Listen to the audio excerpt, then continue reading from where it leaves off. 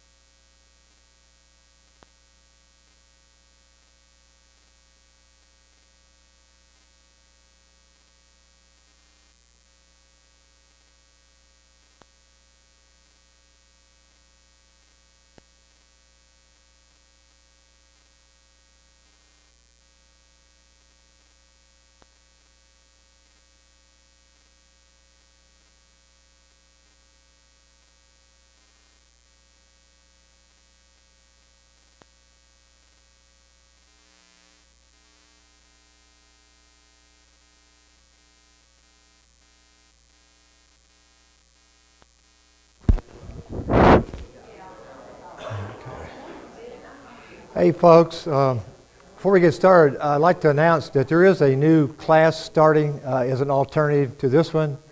I think they call it uh, Young Adults. So, if you consider yourself a young adult, or if you're not a young adult, uh, and you would like to be in that class, uh, Joel will be teaching, he's on vacation. He will be teaching that class. Is that correct going forward, Charles? And in classroom number six, so if you'd like to be a part of that, uh, you won't hurt my feelings, you know, if you want to get up and go to that, because I know I'm a little bit different, right? So, but anyway, I understand, and, and a topic this quarter being Isaiah may be something that people, uh, but it's going to get better, uh, Isaiah. That's because we're going to get some really very interesting things. So just let you know that, if not this week, going forward, uh, I mentioned, uh, I think Brian is teaching that class for Joel this morning but it's called Young Adults. And if I weren't here doing this this morning, then that's where I'd be, being a young adult. Young at heart. But anyway, under, but just go where you can feel like you can learn the most and to be the most helpful for you going forward. But uh, appreciate uh, everyone here this morning. You know, we're starting a new study. uh, you can call it Isaiah Part 2. As you know, we had Part 1 uh, first 39 chapters. Excuse me, I had a problem this morning. And the next uh, uh, section, uh, the last section of Isaiah, will, will de- deal with kind of a, a different emphasis. And so I think going forward also, you'll see that there will be a lot of uh, messianic prophecies concerning Christ. And often you'll hear references made to Isaiah when someone's maybe saying a few words at the Lord's Supper or, or other issues. And so it's, it's a very important, I know it can be hard reading and kind of tough, and you read it and say, well, what does this mean? Well, that's a nice thing about this book is, is they have men who uh, are scholars, uh, who know the original language and have spent many years in, in preparing to help us understand. And you know, with any topic, the, I think the most important thing is just to get the overall gist of it. How does the Old Testament and Old Testament teaching flow into the New? How does it help us understand the New? Do people who remember the Church of Christ believe in the Old Testament? Absolutely. Because if you began with no Old Testament and opened up Matthew chapter 1 and started reading it, you'll say, What in the world's going on here? What are they talking about? All these genealogies for Christ. What are they talking about? So, yes, we believe uh, the Old Testament uh, and we believe that it's uh, preparatory for the coming of Christ. And as we study through uh, Isaiah more, you'll see that come forward. So if you don't have a book and you'd like to get one, uh, Brother Gary, anybody needs a book, raise your hand and he'll bring one to you, right? Anyone need a book for? You need a couple of batteries. A couple of batteries. Oh, a couple of batteries. I think he's going to get some for you, okay? He's going to get some for you. You having trouble with your. Okay. But you can be opening up to, uh, before the table of contents, you'll see a thing called Isaiah Part 2. and this is uh, really important in setting the background for uh, the study of this next 13 weeks. Thank you, Gary. This, Bobby needed some batteries for her.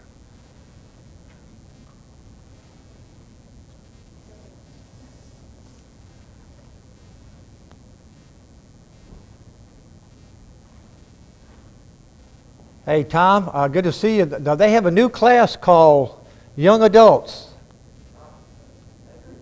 No, give that back here. okay, all right. So, uh, in your book, if you'll open up to that section, it's called Isaiah Part 2. Usually, I don't like to read from lesson books, but this morning I may rely a little bit heavier on that uh, as we uh, work through this lesson, Isaiah Part 2.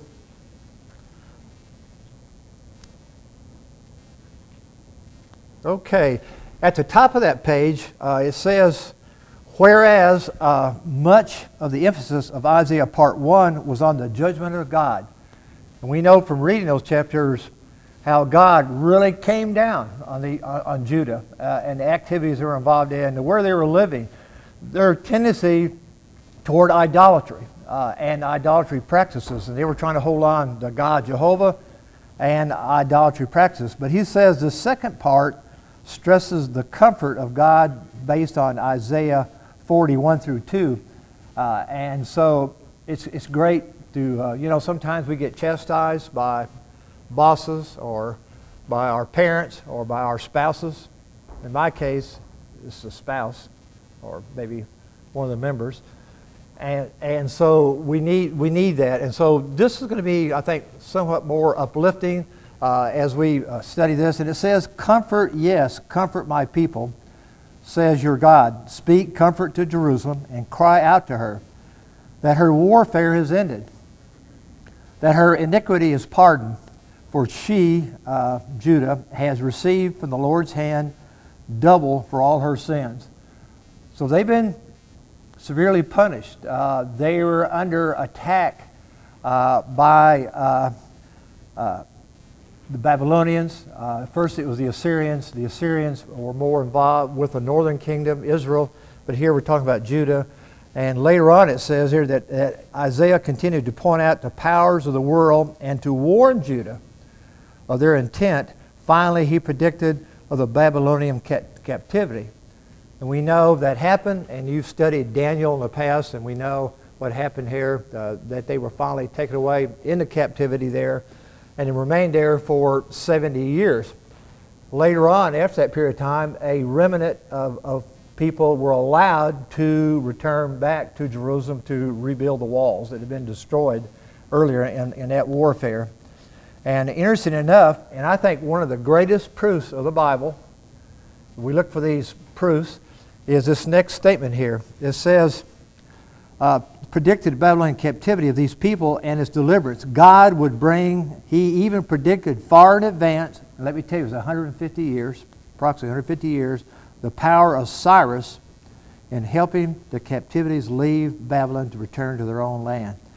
And this is uh, mentioned uh, uh, the captivity over there in 2 Kings 18 and what happened there with King Hezekiah. Remember, King Hezekiah prayed to God that they would be spared uh, and ask for repentance of the people, and God did uh, spare them of any further uh, destruction of uh, Jerusalem.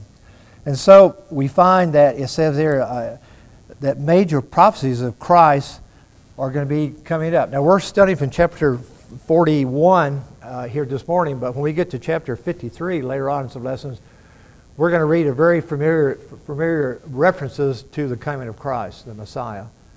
So there's a lot of references and prophecies concerning the coming of Christ and how he would, would deliver the people. So, but to me, it stands out that Isaiah can mention an individual that would come. It was going to be Cyrus. Remember, Cyrus was a Persian uh, king. Uh, remember that the Assyrians were overthrown by Persia and they ruled in that area. Now, where is Persia? Uh, it would be modern day uh, uh, Iran. Uh, Babylon would be more like Iraq. And, they, and, and that would be the power. But it shows you that God uses sometimes people who weren't even Jews or people that were not people who believe in a one God. Uh, these, these kings, uh, powerful people, they wanted to say that yes, there is a God, but there's also these idols that we worship, we look up to. So they wanted to cover all bases. But God used uh, King Cyrus, the Persian, some 150 years later, after this chapter was written here, after, this, after these events, to uh, bring about uh, the return of the people from, Babylon, from Babylonian captivity back to uh, Jerusalem uh, to the rebuilding of the wall. Any comment up to this point? I know uh, history is boring to some folks, but when we realize that the historical accuracy of the Scripture, that it's not a bunch of fables and myths and, and a bunch of interesting stories made up, but there's actual historical proof that these things happened. And sure enough, uh, King Cyrus did allow the Jews to uh, return back to their homeland. Interesting, at the bottom of, uh, of the introductory page, it says, Attention is called again to the structure of Isaiah. It's 66 chapters break into two sections. Now get this, I didn't, I didn't know this, and I don't know. I thought chapters were, were divided or put in place by man. At least I know they are in the New Testament. Chapters 1 through 39 that we have finished studying and 40 through 66, this arrangement makes for 39 chapters in the first, just as the 39 books of the Old Testament. So now get this. In the Old Testament, and the second part consists of 27 chapters, consistent with the number of New Testament books. 27 New Testament books, 27 chapters. I never thought about that. I don't know if that's a, a coincidence or it's just something that happened, but it's an interesting side fact uh, that how these things will tie in to events uh, in the New Testament. Okay, so now let's turn over to page one in your books if you have a book. And uh, it'll bring us to uh, Isaiah chapter 41. Uh, we're going to try to look at the first 24 verses. And I'll admit to you, when I read these 24 verses without the help of the book, I scratched my head and I said, What's he talking about here? And I can understand it. I mean, if we didn't have any help material here or the background, and we just read the first 24 verses of Isaiah 41, you say, Boy, this is, I don't know what they're talking about here. I'm just going to move on. But hopefully this morning we can kind of look into it and, and see what the references are here mentioned in Isaiah 41. Uh, let's read the first uh, four verses in Isaiah 41 uh, from your Bibles here, and then we'll uh, solicit your comments. This is not a lecture class. Uh, it's a class, even though it's a little bit bigger in most classrooms. Please make any comments or questions. Any questions you have, I'll refer them to Joel, and I'll get him for being gone today. So we've already been talking about it, and so uh, and he can maybe address those, or Charles. Now Charles will be the teacher here. Should be, I guess, next week. So at any rate, here we go. First four verses of Isaiah 41 says, "Keep silence before me." Oh, coastlands. Now, I don't know, you know, have any idea what they're talking about, but what they're talking about here are the uh, Gentile peoples who occupy this coastal area, I guess from Tyre all the way down the coastland of this eastern Mediterranean area uh, where uh, Israel ends there. And these were pagan people. Keep silence before me, O coastlands, and let the people renew their strength. Let them come near, then let them speak. Let us come near together for judgment. So there's going to be a coming of the minds here. He's putting forth here. Who raised up one from the east? Now, this here is a reference to Cyrus. Cyrus in the Persian Empire would have been east of Palestine. Uh, and so he's referring to the east. It would be geographically uh, east of that area. Who in righteousness called him to his feet? Who gave nations before him? In other words, Cyrus and the Persian armies conquered uh, the Babylonians and made him rule over kings. Who gave them as a dust to his sword, as driven stubble to his bow? Who pursued them and passed safely? By the way, that he had not gone with his feet. Who has performed and done it? All these questions. Calling the generations from the beginning, I He's going to answer his own question. I, the Lord, am the first, and with the last, I am He. God is the beginning, He's the, he's the end, He's the Alpha, He is the Omega.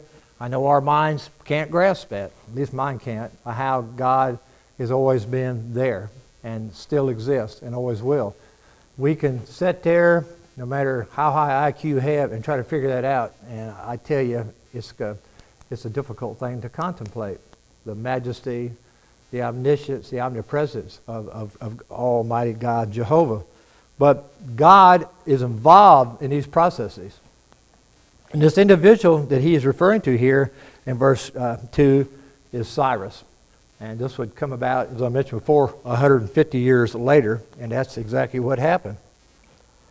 How many of us can say what's going to happen 100 years from now, 50 years from now? Who knows what's going to happen really tomorrow? You ever think about that? I have. We think we got everything all laid out and everything all squared away, but things happen in our lives. We get these curveballs thrown at us, and often we're just not really prepared for it. And I guess what it comes down to is our reaction to these issues in our lives. You know, how are you and I going to react to these situations? And so, when we live a God-focused life uh, as Christians, it should help us get through these situations because things are going to happen. And sometimes things happen that are out of our control. There are things that we question why. You know, these all these poor little children down there in Uvalde, Texas, that were killed. I mean, by some mentally ill maniac who went in there and just started shooting. I mean, who knew that day when they was going to go to school, their parents, or something like that was going to happen to their children? Imagine, try to imagine what's going through those families' minds and their hearts. It's got to be just terrible beyond belief, right? It's something we can't hardly contemplate these terrible things. And not only there, other places. And, and it's, it seems like it's escalated, uh, and I don't know all the psychology behind it. I don't know that I know any of the psychology behind it, but it's, it's a very complex issue, uh, mental health, political, a lot of other things are involved. So we really don't know, but to think that God knows, He knew what was going to happen 150 years in the future. He revealed this to Isaiah. I'm not so sure Isaiah really grasped what was going on at this point, but he trusted God. He trusted what He told him, and he wrote it down. And so we find here in the top of page one, uh, one that uh, God uh, has uh, sworn an oath which he swore to their fathers. Uh, let's turn to Genesis 12 2. Now, this is going to be old information for a lot of you. But another proof of God and His majesty is how God keeps His promises. Why is that important to you and I?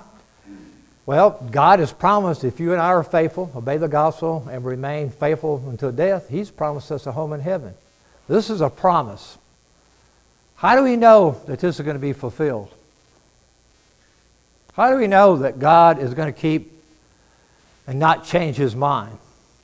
Well, I think one of the answers to that is when we go back and we see that God selected a man named Abraham.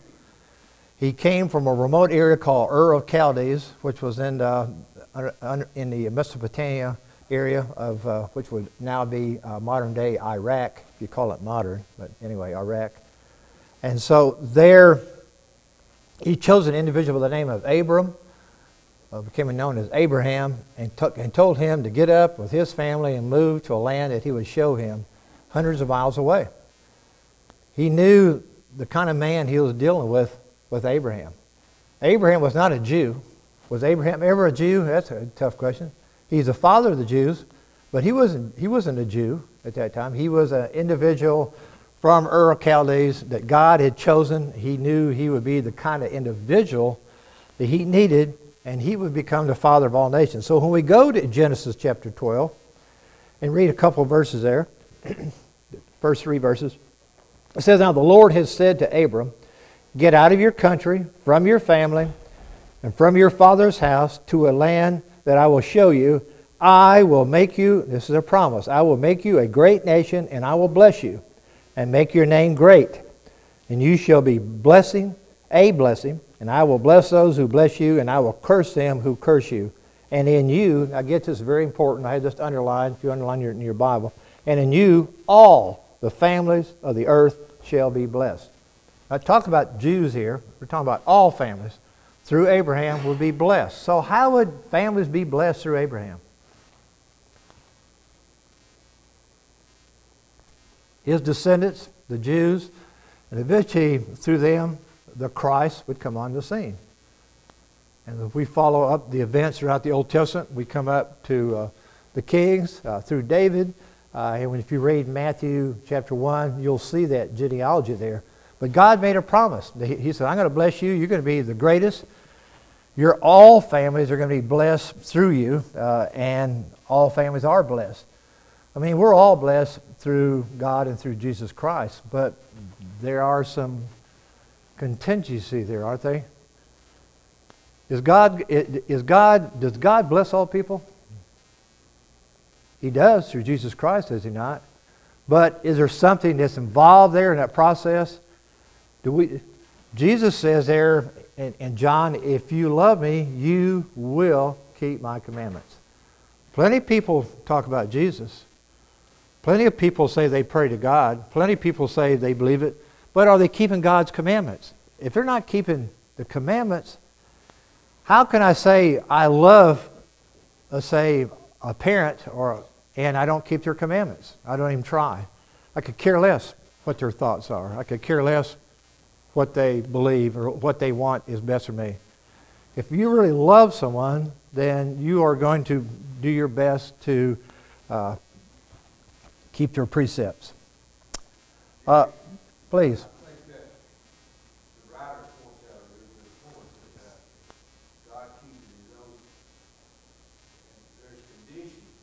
Yes.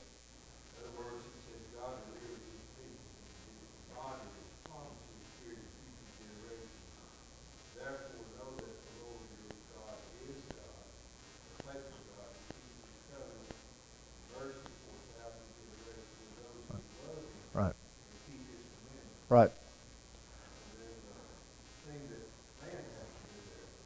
Yeah, you know, it's like, you know, with Saul on the road to Damascus, you know, and Christ appeared to him.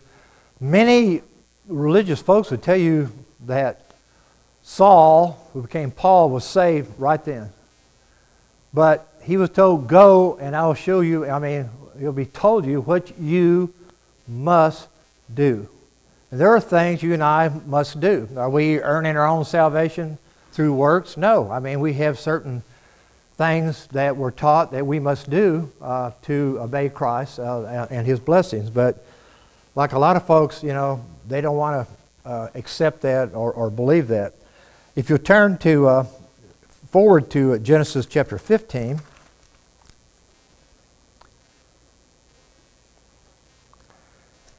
And verse 4 there, still t- dealing with Abraham here.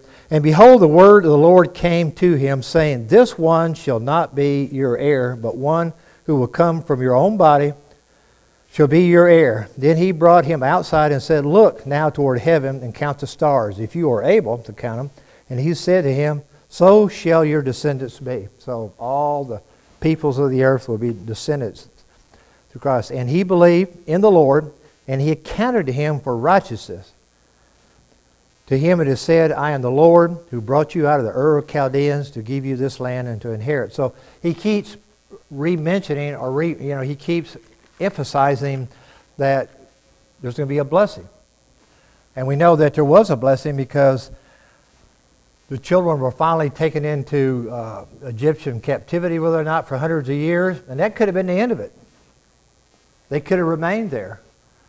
But God had a plan, and when God makes a plan, it's going to happen, whether we like it or not. And, and it's, it's going to it's to happen because and so those children of Israel were delivered out of that captivity because he says I'm going to give you a land uh, and he told Abraham there that he would he promised to him that where you live right now Abraham way before they, they went to conquer the lands many uh, centuries later that your people will inherit this land and sure enough, uh, they moved on uh, and they did go in and, and conquer that land.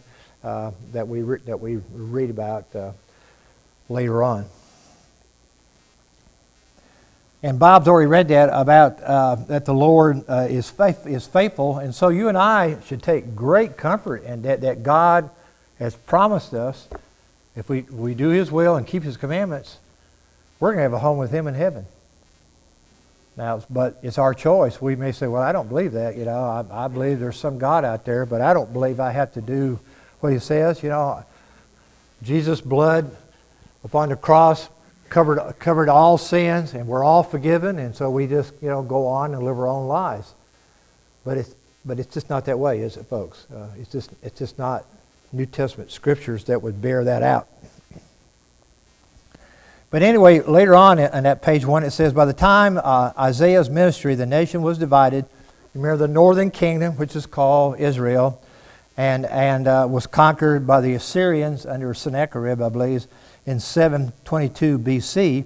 And now we're talking about the southern kingdom known as Judah escaped a similar fate only because King Hezekiah humbled himself and petitioned God for uh, deliverance. Uh, and you can, we can go back to uh, uh Isaiah there, earlier chapters. It mentions Isaiah 37 and read that uh, historical thing. In case you all forgot we talked about it a quarter ago, Isaiah, first part. I'm sure most of us forgot it. Isaiah 37 15 uh, would tell us that then Hezekiah, he was, he was the king there of uh, Judah, to the Lord, saying, O Lord of hosts, God of Israel, the one who dwells between the uh, you are God, you alone of all the kingdoms of the earth. You have made heaven and earth. Incline your ear, O Lord and hear, open your eyes, O Lord, and see and hear all the words of Sennacherib, which he has sent to reproach the living God. Truly, Lord, kings of, of uh, Assyria have laid waste to all the nations in their land. So they were being besieged by, by the Assyrians here. And Hezekiah, and I think he's called Good King Hezekiah, he's one of the few kings of the divided kingdom that was really one of the good ones who tried to keep God's commandments. And so God put an end to things uh, right there. And so we see that who do we turn to? I think we have a tendency as humans to turn to God when we're in trouble, do we not? I think we all do it. I mean, we got people who are seriously ill. We go to God. Well, we got some tragedy in our life. We go to God, please help us. But we need to be uh, have that type of attitude all the time, right? Not just uh, when things are not going well. We need to be aware of God and His blessings when things are going well for us and thank God for it. And so it's just, uh, I think we can't say that all this teaching here in Isaiah, you know, what does it mean to us? To me, it means that God keeps His promises, that God loves His people. He loved the people of Israel. I mean, look how many times, if I use this word, messed up we read about. Under the judges, well, before the judges, under the kings. I mean, it, it seemed like the people, they were on a, on a roller coaster. I mean, they would keep God's commandments, things would be well. Then they'd fall into idolatry, uh, not follow God's commandments. They'd fall into bad times. They would repent. God would forgive them. He would help them. And he's telling Judah here that I am going to help you, you know, and through of course, they didn't understand this. Through Jesus Christ, all peoples of the earth, as he promised Abraham, would be blessed. Not just the Jews, that all people, Gentiles included, would be blessed eventually through uh, Jesus Christ. And so it goes on to the bottom of page uh, one there. It says uh, that turning to idols, and even Judah, the people, the Jews, they were worshiping idols in addition to God. They were trying to cover all the bases, so to speak. So turning to idols or foreign gods for help was both unnecessary and fruitless. Fruitless. It was a waste of time. Nevertheless, Judah did not learn this lesson. I mean, and so we see in the first 39 chapters of Isaiah all the stuff they were going through and how God condemned this kind of uh, behavior. So we've already mentioned here on top of page two about Cyrus here. Matter of fact, if we read ahead of our lesson to uh, chapter 44 of Isaiah, turn to Isaiah 44. And uh, verse uh, 28, we'll find out that Cyrus is mentioned by name, specific name. He's not just referred to as someone that. Who, who says of Cyrus, He is my shepherd, and he shall perform all my, talking about God, my pleasure, saying to Jerusalem, You shall be built, and to the temple your foundation shall be laid. And you can go to, go to uh, Ezra 6 and read about that, that this is going to happen. And it did. Very prophetic. So if people say, you know, the, the Bible, you know, why do you believe it? Here, here's a proof text. That's a proof text. That's one proof text. That God has kept his promise, Talk about something that's going to happen in the future. And it goes on to mention uh, that uh, God's omniscience and sovereignty, uh, Cyrus eventually made provisions for the people of Judah to return from Babylonian captivity. And you can read that in Ezra 1, 1 through 4, um, etc. So, uh, I don't know about you, but, but this is going to be really impressive, is it not? That this prophecy here in Isaiah, it came true. And if we, it, later on, when we get to Isaiah 53, we'll see that, that Christ would come.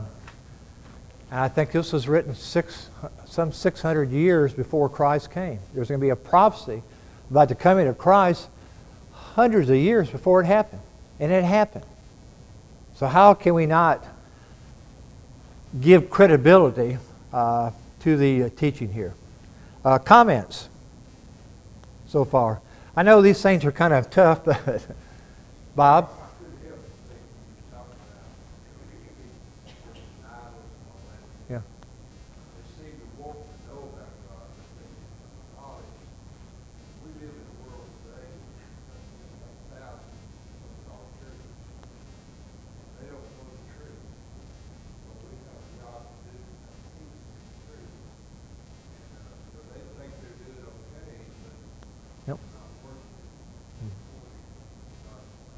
Right.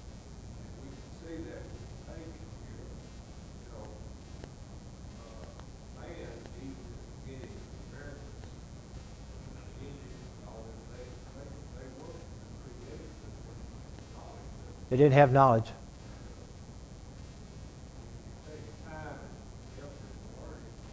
It does. Time and effort. Well, how do we get this knowledge? I mean, how do we get this knowledge that we know that we are on the right path? How are we going to, how are we going to know we're on the right path? Huh? Study the Scripture? Believe me, there's a lot of folks who claim to be religious that don't have any idea about some of the things taught in the Scripture. They can't show you. Uh, they can make comments about what they feel, what they believe, or what someone has told them. Uh, but can they go and find it in the Scripture? And that's where knowledge is so important. I mean, if we want wisdom, then you're going to have to have knowledge to develop that wisdom. Uh, it's not just going to come to us, and uh, it's not going to come as a little, little voice in the night. The Holy Spirit that we're going to talk about Wednesday night, don't miss it. uh, is uh, something some people think, you know, I'm guided by the Holy Spirit, and He comes to me and He tells me stuff, and I do it outside of God's Word. I don't want to get ahead of myself there, but at any rate. Uh, yeah. I have a whole set, yeah. Yeah. Yeah, there's a lot. There's a lot of good commentaries. Now, commentaries are men's opinion, and you should read several. But they always, the good ones are going to back it up with Scripture. They're going to back it up with reasoning, uh, with knowledge, uh, which hopefully ends up in wisdom. And there's a lot of good commentaries, even written by people, you know, outside the Lord's church, you know, like Clarke's commentary. I don't believe everything he says, but he is, he's a really good commentary. So you have to be able to rightly divide these things, you know, uh, that are taught and said. And so uh, you're right.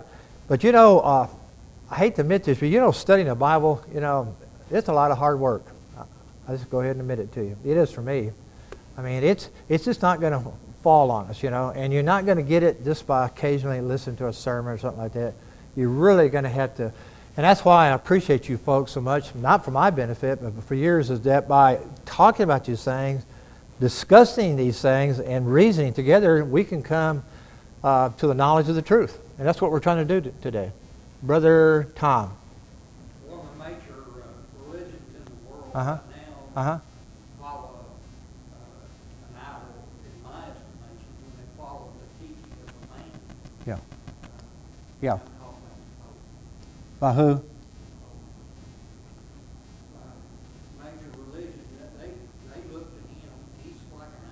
You about Muhammad? Yes. Yeah, you know, there's a lot of uh, scriptures in the New Testament that make reference. You remember, remember that Paul's letters to, to, to Timothy? He keeps warning him and warning him, saying that times will come that men will have itching ears and they want to hear things that they like to hear, makes them feel good. And there are references into to individuals uh, forbidding, uh, forbidding, forbidding, forbidding marriage, uh, forbidding eating certain kinds of food, and you can kind of draw the references there about certain religious groups who, who teach that. And uh, if you get into the study of Revelation and the end of uh, Daniel and Ezekiel, there are strong references to the falling away and who these individuals are. Uh, and it's, it's, uh, it's a deep, deep study. I don't know if we'll ever get there or not uh, in Joel's lessons or not because it's, it's hard stuff to tackle. But that refers to these religious groups that will fall away. And that's one of the major religions of the world. You take that religion and you take Islam and put the two together, you're talking about over half the world's population that believe those things. False doctrine. That people are sucked into it. And it's, uh,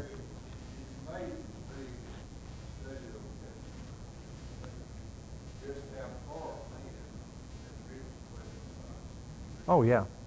They were already doing it, Bob. Here, hundreds and hundreds and hundreds of years ago, they were already drifting away. And here, God is talking to these coastal people, these Gentiles. Let's have a reasoning here. You believe in these idols, and we're going to get to that, matter of fact, right now. Go back to chapter 41. That's our lesson here, anyway. So we talked about uh, there. Uh, let's look at verses 5 through uh, 7 in uh, chapter 41. The coastlands saw it and feared. The ends of the earth were afraid. They drew near and came. Everyone helped his neighbor and said to his brother, Be of good courage. So the craftsman encouraged the goldsmith who smooths with a hammer, inspired him who strikes the anvil, saying, It is ready for the soldering. I didn't know they had solder back then. So they're putting together what? A gold or metallic precious metal idol. And he says, Then he fastened it, and here's, here's the part is really humorous. He fastened it with pegs that it might not fall over. So here's this image that they're building, and they're going to worship it, but yet he had to prop it up because it might fall over on the floor. Woo, boy, God, look at this, man. This idol, we're going to pray to this idol. He's going to do all this stuff for us, these idols. And yet we got to prop it up with pegs. They're talking about props so the thing wouldn't totter over and fall over in the ground. Well, wouldn't that be awful? Our idol fell over in the ground. And so people were worshiping these things, and in some cases they were worshiping the so-called one God also. They were, they, they were just trying to cover all the bases. And what can this God idol do for them? Now, here's the question. We're talking about idols. Everyone in this room can say, well, we don't believe in idols. We don't worship- worship idols. But do you and I have idols today? Can you and I have idols today? And if so, what can idols be today? What kind of idols can you and I have today? Name, name one, huh? Materialism, which covers a lot of stuff, right? Materialism. How about the quest for education, maybe, and knowledge uh, in a certain field? Nothing wrong with that in itself, but can it be so all encompassing that it just leads our lives? And that's what we look to is, is this knowledge that we think we've acquired through reasoning, you know, uh, we accept and believe certain things.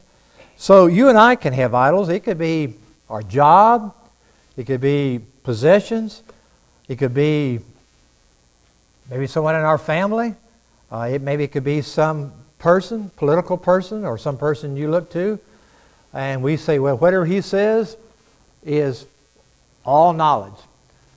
It's all truth. And we can get drawn off and, and diverted away from God because, you know, things are going pretty well. You know, you, you got money, you got a house, and you got, yeah, Brother Robert. Any priority we put above God, Robert says, any priority in our life that puts us God in down the line. It can be, be God is, is relegated to a lower position. Anything. And it's easy to get caught up in it, isn't it? You can get so caught up in things, involved in things, and they're not necessarily wrong things within themselves, but we can get so involved with it that we don't have time for God. We don't have time for worship. We don't have time for Bible study. We just don't have time for it. I'm just a busy, busy person. I'm a good person, but I'm busy. Don't have time for it. Everything's going to be okay because I believe in Jesus. Yes, Bob. Well, when we think about that, especially when you're young, so many things Yeah. you like to do. Right. Yes. And I know in my case, several years before I Yeah. really knew that I was going to commit my life to God, Yes. not the things I wanted to do. Right. But we're tempted to keep doing all the things that, you know, hinders us Yeah. from serving like we should. It really is. You know, and I'm not trying to say this to make people feel bad because I've done it. I'll go ahead and confess right now. I've allowed things in my life, particularly when you're, like Bob says, you're getting started and, and you're trying to establish yourself maybe in a career or you're trying to establish yourself getting a house and, and, and get involved with your family and your kids and all their activities and all their ball playing and, and all the stuff that children are involved in. Not wrong within themselves, but I mean, we can really get diverted easily, and it's very difficult, Bob says, for young families. I admit it, it really is. It, it's difficult. So I'm not being, you know, overcritical of anyone. I'm just saying that, you know, you and I, if we're not careful, we can lose our priorities, and it's easy. And perhaps most of us here may have done that in the past. Maybe we're doing it right now. I mean, we have to self-examine ourselves and to see where we are. Uh, let's see here. Where were we? Okay. Uh, I already mentioned about Cyrus being mentioned in, chapter 44 of Isaiah by name. And we talked about the idols, and they had to be uh, made sturdy so they wouldn't fall over. Uh, in the middle of uh, page 4, it says, uh, this is a commentary person who he says, Alan Harman explained the idea that nations are vainly using idols to give them support, even though they themselves are the work of man's hands. Uh, they know that some man made this thing, but yet they're trying to worship it. No deliverance will be available to them for such human efforts, and their folly is highlighted by the final clause of the, of the verse. The idols are so precariously positioned they even they needed nails or pins to keep them from falling over. No help could ever be expected from false gods. And we've already talked about today some of the idols of today that we think is going to bring us happiness. And boy, I got this nice new this or that, and first day somebody runs into it and wrecks it. You know, or this beautiful whatever it is, car, boat, or something, anything. And it, we find out it's just a material thing, and uh, that we think is going to bring us happiness. And I think most of us get involved in these things because we think it's going to bring fulfillment and happiness in our lives. If we just get this thing or accomplish this thing, we're going to be happy, we're going to be fulfilled. And a lot of people who are the least fulfilled are people who have, have had great success uh, in business world or in academic world. Great success, but they feel somehow unfulfilled. It could be that that individual lacks God in their life. Uh, they, they lack that focus on what really matters. And I know it's difficult because, but you, and unless the Lord allows us, and of course, to live, to be older, it's just hard to grasp these things. You know, it's hard to sit here for a older man to tell people in their 30s and 40s and 50s, you know, that uh, you don't need to be involved in these things because it's very difficult. And it's, so we need to pray about it, but and we need to study and stay in God's Word because I think faith, our faith, will never increase as we go along in life unless we are involved in God's Word and involved in worship, involved in fellowship. And that's why the elders are always encouraging people to try to come at all possible to the assemblies because we need that encouragement. I can't tell you how much you guys encourage me. I mean, I, I do. I, I, see you, and I feel well. You know, I, you know, I have a family here on earth. You know, I have a spiritual family that really loves the Lord, that really cares about what goes on day to day, and that we all have a summer goal to please God and, and be with Him for eternity someday. You know, we need that encouragement and that help. So we need to uh, be aware of that. Uh, let's see here. Where were I? Uh, I already mentioned that.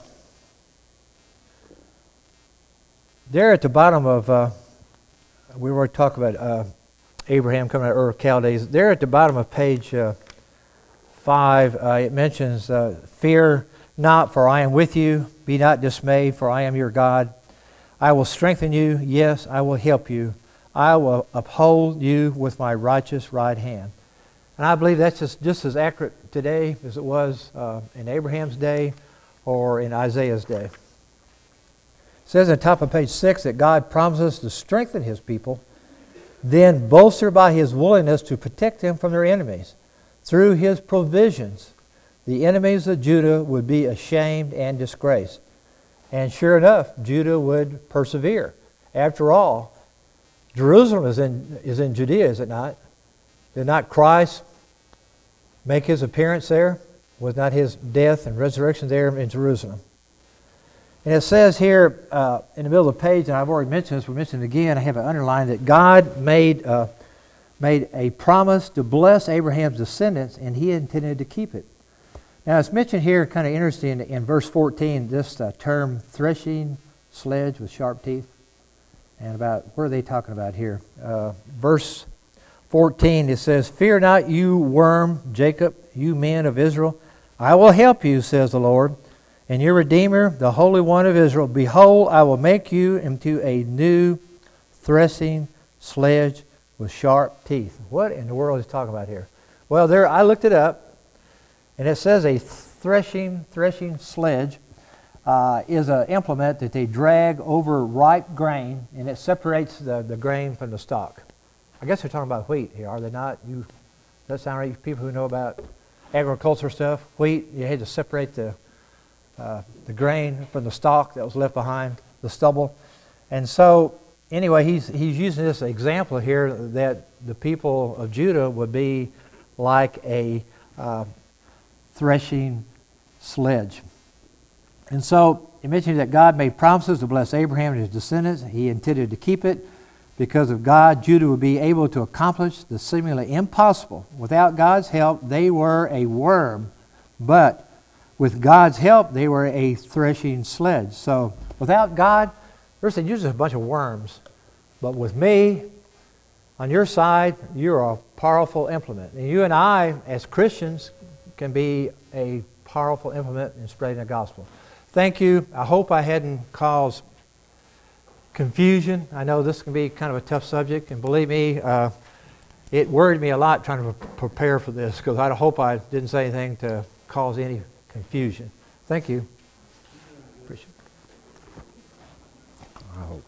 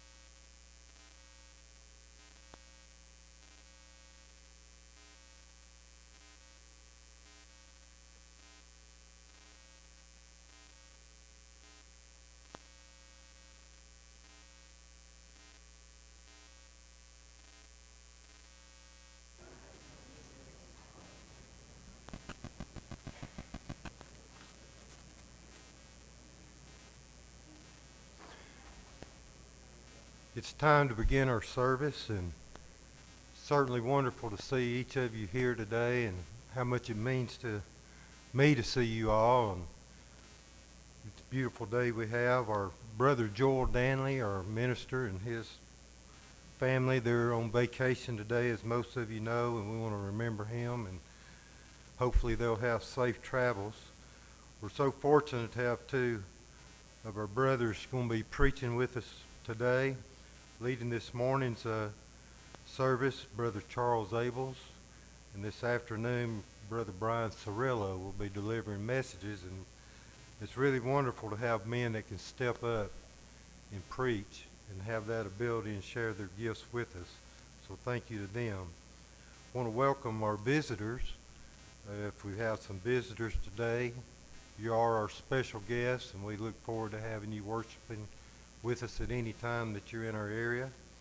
We would like an opportunity to get to meet you. For those that cannot be here that are watching live stream, uh, we look forward to your return, and some of you will be watching it later as a recording, and we're just thankful that we have this opportunity. Looking at our schedule, I want to remind everybody that we do have our Bible study every Sunday morning at 9:30. Of course, our worship service begins at 10:25. We do provide a meal in between services because we come back at 1:30 for our afternoon service. And then on Wednesday night, we have our Bible classes, which begin at 7. We started a new class this morning, and uh, it's for college-age folks. And uh, Brother Danley will be leading that, but since he's out today, Brother Brian filled in and kicked that off. We've got a lot of events going on, care team meetings. Uh, beginning today, Care Team 1 will meet, and I think all these are after the 1:30 service. I know I'm on Care Team 2, and that's when we meet.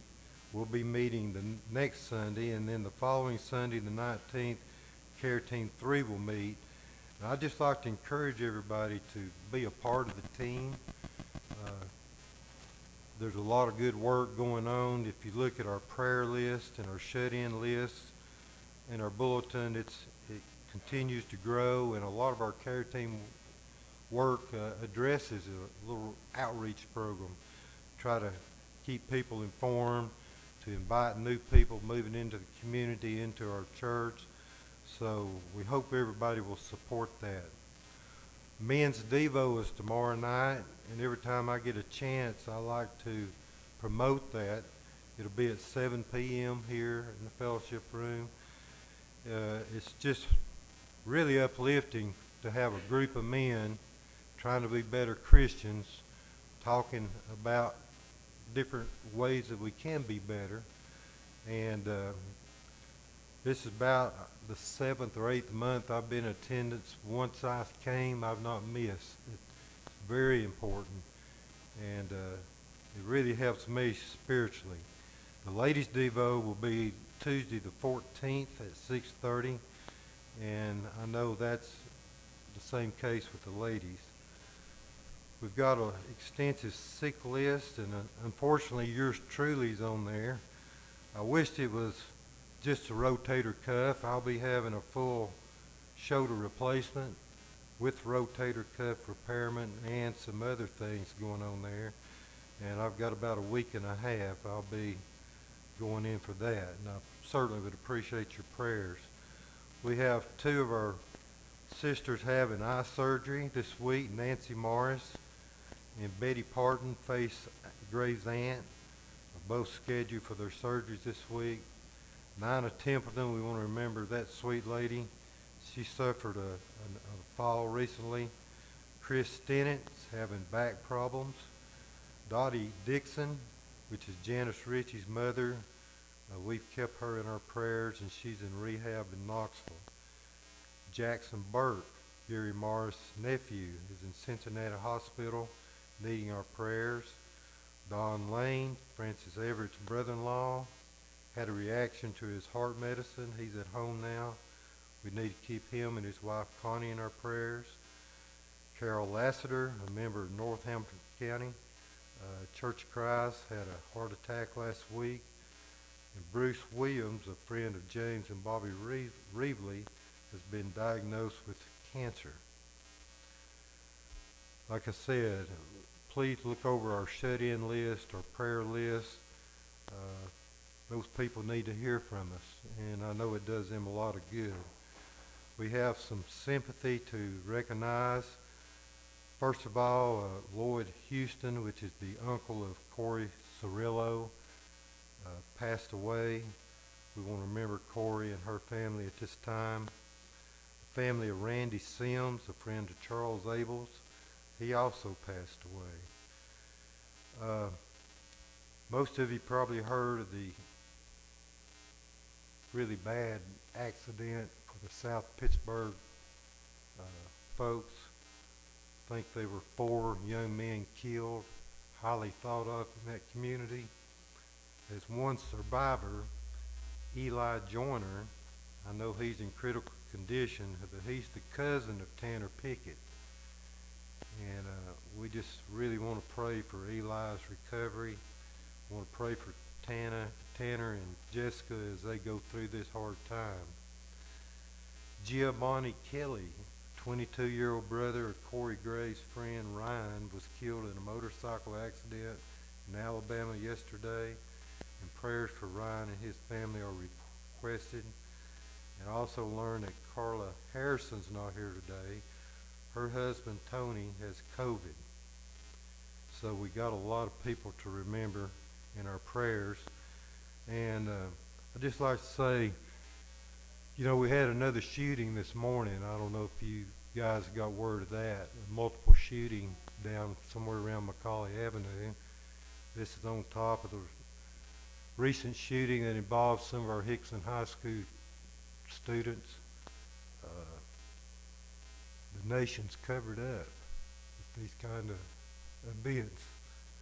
And uh, I just feel like coming to Bible study, supporting your care team, doing things, the little things.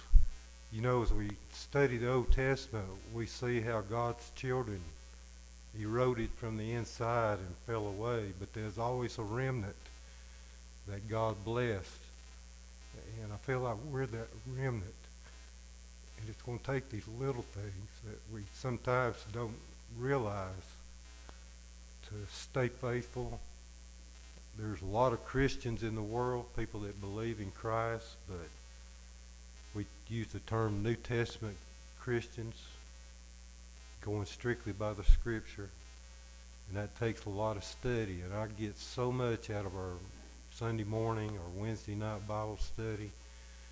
And I want to encourage everybody to let's give it our all. Let's be here. Let's let's not let the Lord down. Let's go to God in prayer.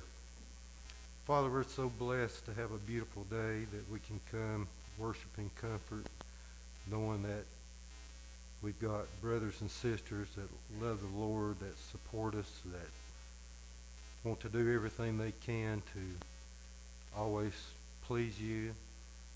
Father, we pray that all things done today will please you, that we will glorify your name, and we look forward to hearing from Brother Charles and Brother Brian. We thank you for them and their abilities. We pray for all those that we mentioned that are sick, that are needing sympathy. We pray for the Danley family that they'll enjoy themselves, have a good return home to us. And thank you for the eldership we have that looks over us, that makes sure that we are we are New Testament Christians, Father, and we worship in an appropriate way. Thank you for all you do for us. In Jesus' holy name, amen.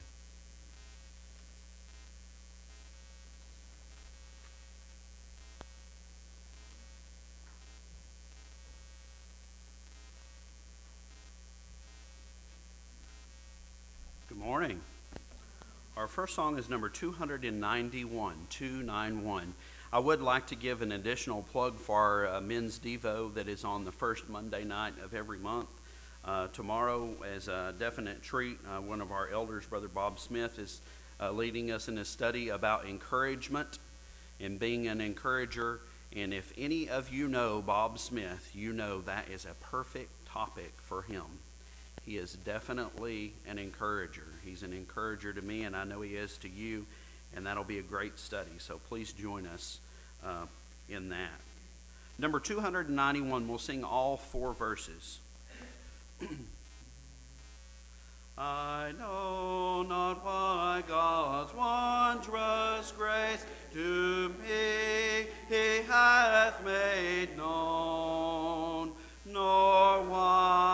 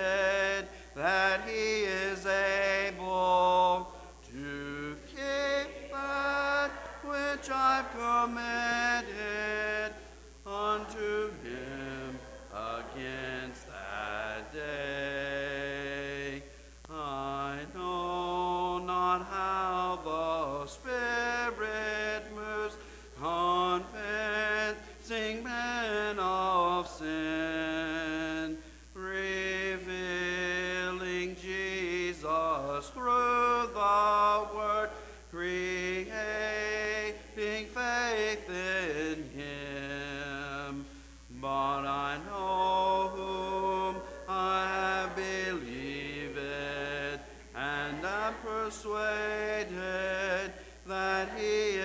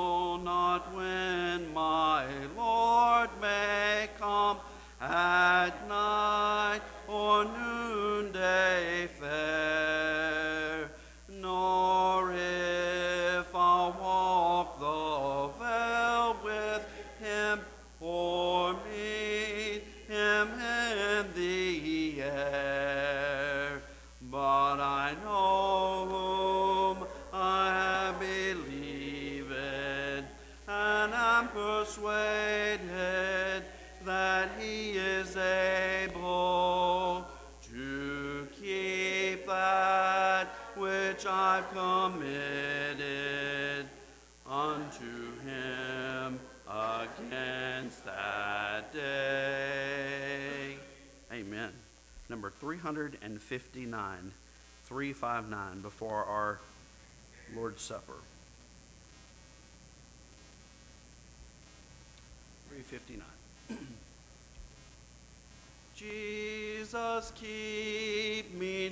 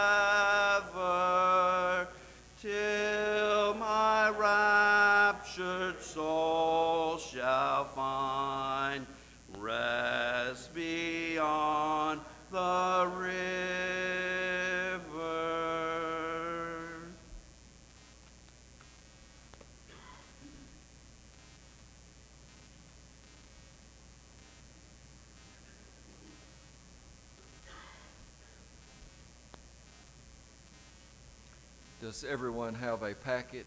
If you don't, please raise your hand and, and we will get you one. Chase.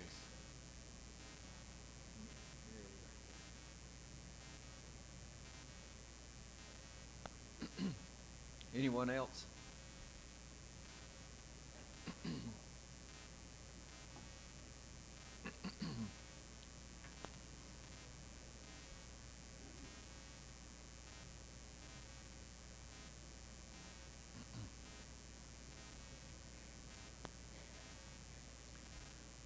The Lord's Supper, we do this in remembrance of Jesus. We're all human, and we all tend to forget things. But God knew this, so when He sent His Son to die the terrible death on the cross for us, He wanted to make sure that we never forget this great sacrifice that Christ shed His blood on the cross so that we can have forgiveness of our sins. In 1 Peter 1, verses 18 and 19, we read, For as much as ye know that they were not redeemed with corruptible things, as silver and gold, but with the precious blood of Christ as a lamb without blemish and without spot. Christ himself instituted the Lord's Supper in Matthew 26, 26 through 29. Christ instituted the Lord's Supper while he was with his disciples. And as they were eating, Jesus took bread, blessed it, broke it, and gave it to them, saying, Take, eat, this is my body. Then he took the cup and gave thanks and gave it to them, saying, Drink from it, all of you, for this is my blood of the new covenant, which is shed for many for the remission of sins. Christ wanted us to remember his sufferings. We know Christ desired to be remembered, for Paul said in 1 Corinthians 11, verses 23 through 25, For I received from the Lord that which I also delivered to you, that the Lord Jesus, on the same night in which he was betrayed, took bread, and when he had given thanks, he broke it and said, Take, eat, this is my body, which is broken for you. Do this in remembrance of me. In the same manner, he also took the cup after supper, saying, This cup is the new covenant in my blood. This do as often as you drink it in remembrance of me. Twice in these verses, he has told us to do this in remembrance of me. How often do we partake of this memorial feast? And we find that in Acts 20 and verse 7. The early disciples came together on the first day of the week to break bread. So it's very important that we partake of this memorial on the first day of each and every week. Also, the Lord's Supper must be observed reverently. We read in 1 Corinthians 11, verse 28 and 29, But let a man examine himself, and so let him eat of the bread and drink of the cup. For he who eats and drinks in an unworthy manner eats and drinks judgment to himself, not discerning the Lord's body. So we must focus also on redemption. It is a joy and a comfort to a sinner who is outside the body of Christ to realize that it makes no difference how many sins they have committed or how bad a lifestyle they have lived. The blood of Christ can wash away their sins. Isaiah 1 and 18 reads, Though your sins be as scarlet, they shall be as white as snow. Though they be crimson, they shall be as wool. We also should observe the gratitude of Christ. For every time we partake of the Lord's Supper, we remember all the suffering he did for us. Jesus said, Do this in remembrance of me. Let's have a prayer for the bread. Our Father, who art in heaven, we are thankful for your sacrifice that you made on the cross for us. Father, as we partake of this unleavened bread, our minds reflect back to that old rugged cross and to the suffering and shame that took place to our Lord and Savior and for everything that he endured. Father, we ask your blessings on this bread that represents his body. And Father, we pray that we can partake of this in a manner that be acceptable to you. This is our prayer through Christ Jesus.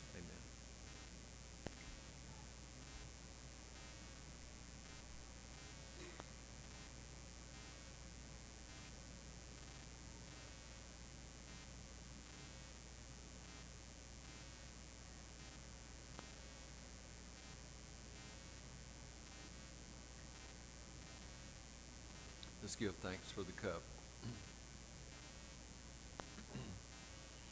Our Father in heaven, as we take this cup in remembrance of Jesus, we visualize the piercing of Jesus' body and the blood and the water that flowed freely. Father, we are thankful to you that now through baptism our sins are washed away. Father, we ask your blessings on this cup, this fruit of the vine that represents that blood. Father, may we always remember what Jesus done for each of us.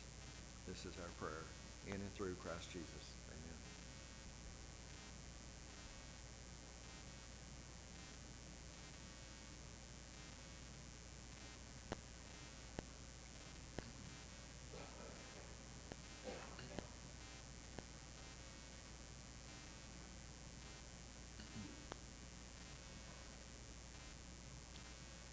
As a separate part of our worship, giving of our means, which we do most of us as we enter, and the collection plate is always available if you want to give your means as you exit the building also, till it remains in the foyer for that.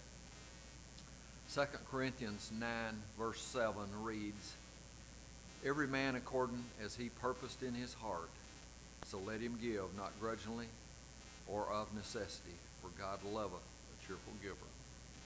Let's pray for offering. Our Heavenly Father, we are thankful for this great country, for this great community that we live in, and for all the opportunities available to us to go out and earn a living in support of our families and along with giving our means in support of spreading the gospel throughout the world. Father, at this time, we pray that each of us have given with happy hearts and that our eldership can use this money in a way that will be acceptable for your will. This is our prayer through Christ Jesus. Amen.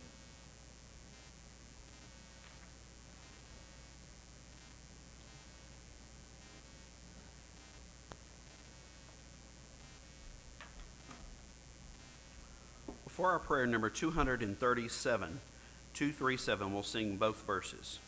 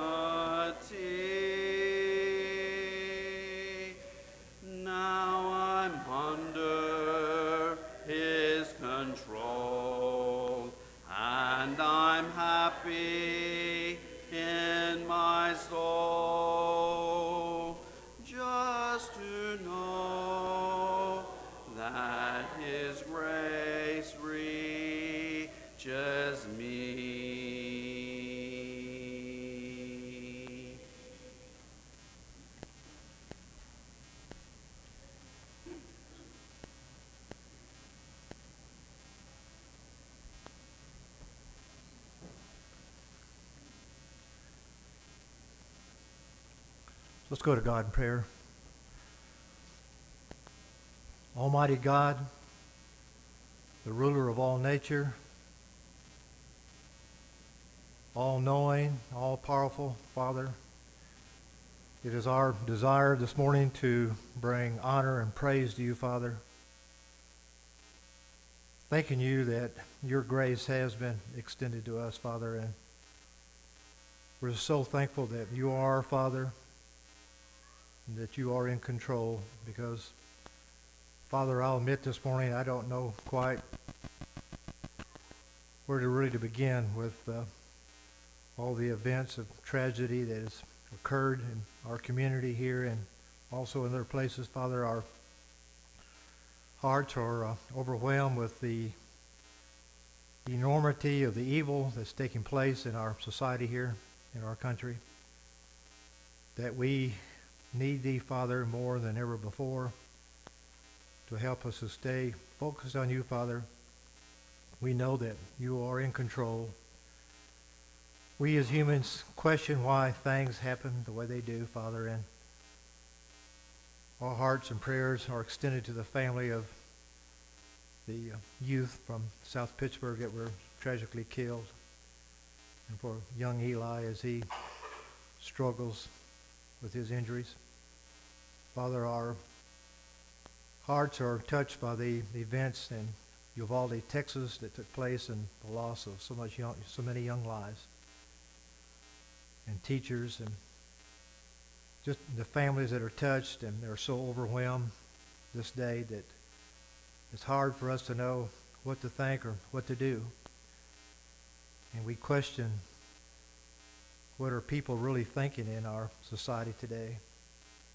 We know that they're not looking to you, Father, and they're not looking to your word and to your wisdom to guide us in our lives. And we just hope that when opportunities present themselves, Father, that we can encourage these folks in any way, especially those that we know the families of, the personal involvement there, that we can offer encouragement to them. That we know that you have the power to touch lives, Father, and we hope that some form of comfort can be brought uh, to all these families involved in all these tragedies. Father, we are so thankful that you have blessed us with families, with shelter, with food, and all the necessities of life. But more importantly, Father, you have uh, blessed us with the hope of, of eternal life with you, Father, and that going forward, we need to keep our eye uh, on the goal of this and to remain faithful, to study your word, to grow in faith, Father. We're also aware of, uh, we have so many that are sick that I fear that I will forget people's names and do not mean any disrespect of any families that I failed to mention, but I'll try to mention families that we have already mentioned uh, in our announcements, Father. You know, our Robert Smith is facing surgery, and I know he's concerned about that. And those of us who've had that type of surgery, we realize what he's going through, and we just pray for the very best outcome in his surgery. Uh, we pray for Nancy Morris and that her eye surgery will go well. For Nina Templeton, that she will recuperate from her fall. From Chris Stennett, that he'll have uh, relief from his back problems. Betty Parton, face Grace Ant, will have eye surgery Wednesday. We pray for good results there. For Dottie Dixon, uh, Janice Ritchie's mother, who is in rehab in Knoxville, that she will have uh, some good results there for Jackson Burke, uh, Gary Morris's nephew, in the hospital in Cincinnati, uh, Children's Hospital, with a serious pancreas problem, that they can find some uh, resolution to his issue, Father. For Don Lane, Francis Everett's brother-in-law, that he'll uh, have a better results from his medication. For Carol Lassiter, a member of North Hamilton who has recently had a heart attack, that you will be able to recuperate from this event. Bruce Williams, a friend of James and uh, Bobby Reevely, who's been diagnosed with cancer, that he can have good results from treatment. Father, we are reminded of our shut-ins that it's so easy to put aside and forget, our Sally Breyer, Yvonne Burdine, Frankie Cox, Samira Ferry, Christine Marlowe, Betty Meredith, Betty Smith, and Tracy Smitherman, that we can continue to remember these individuals and to visit them, pray for them. Father, we're also uh, sympathetic to uh, the loss of life, uh, or Corey Sorello, and the passing of her uncle, and for the uh, family of Randy Sims, a friend of Charles Abel, who passed away recently. We know these uh, are so much uh, sickness and heartache, Father, in the, in the world going on, and we pray for those who are suffering uh, depression, loneliness, anxiety uh, as a result of these activities, or just a result of everyday issues that they can uh, look to Thee, Father, and hopefully uh, have some better results going forward.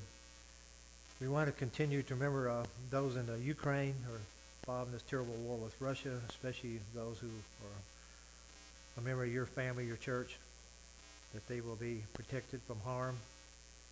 Father, we, we pray for the work that's taking place in so many uh, parts of the world that we are involved with, uh, Nicaragua, Panama, India, Africa, other places, and locally that we can uh, spread your gospel and that uh, we know your word will not return empty and that there will be those souls that will respond to the word uh, in a positive way. Father, we also pray for those that are traveling, the Danley family, that they will be uh, free from harm and uh, injury, and all those who have been traveling, because we know so many have lost their life over this past holiday weekend so tragically.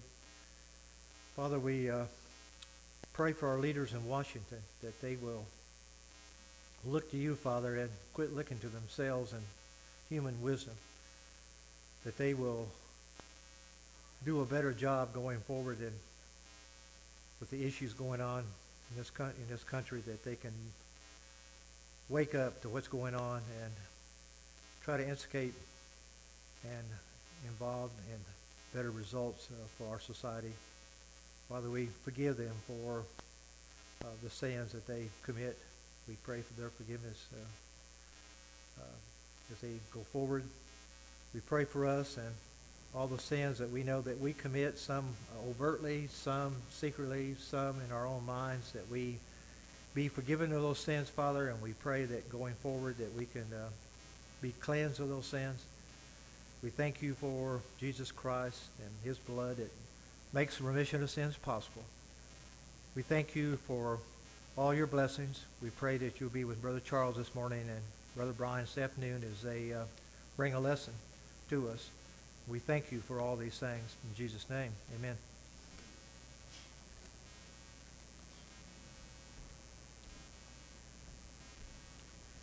If you're using a songbook and would like to mark the song of encouragement at the appropriate time, number 189 will be that song, 189. Then before our lesson, number 786, 786, we'll sing all three verses. And if it's convenient for you, will you please stand?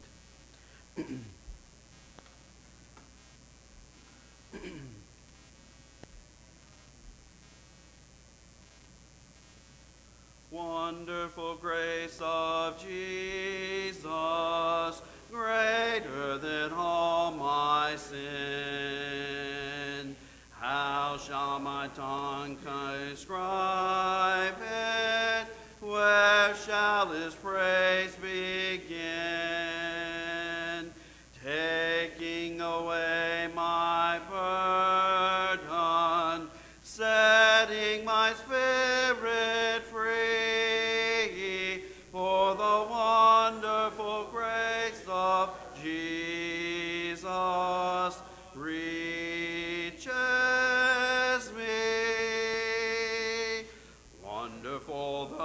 matchless grace of Jesus, deeper than the mighty rolling sea, higher than the mountain, sparkling like a fountain, all sufficient grace for even me. Broader than the scope of my transgression, sing it. Greater far than all my sin and shame. Oh, magnify the precious name of Jesus. Praise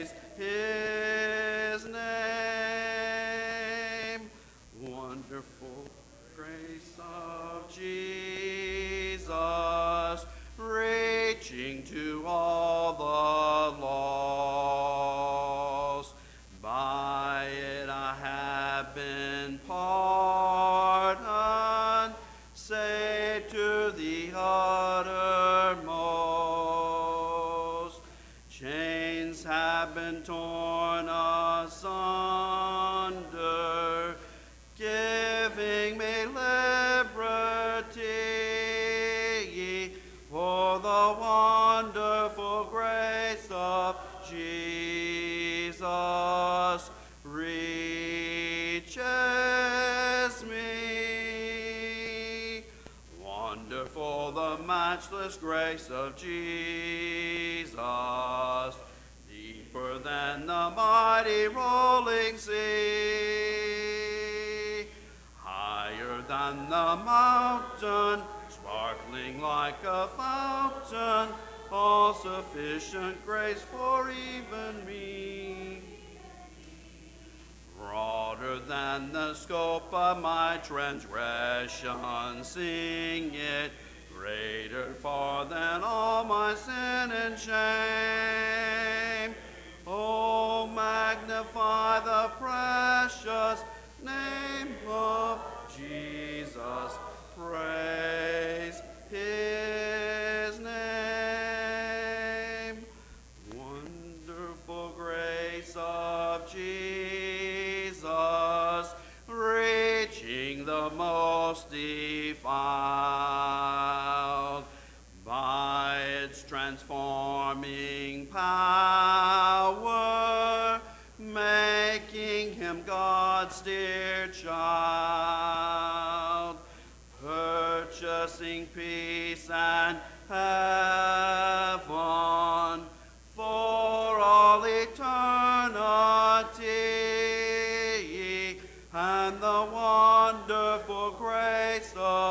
Jesus reaches me.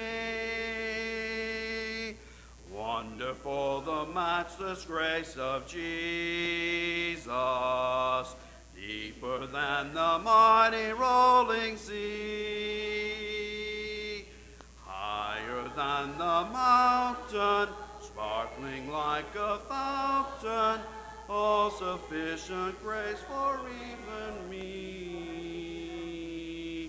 Broader than the scope of my transgression, sing it, greater far than all my sin and shame.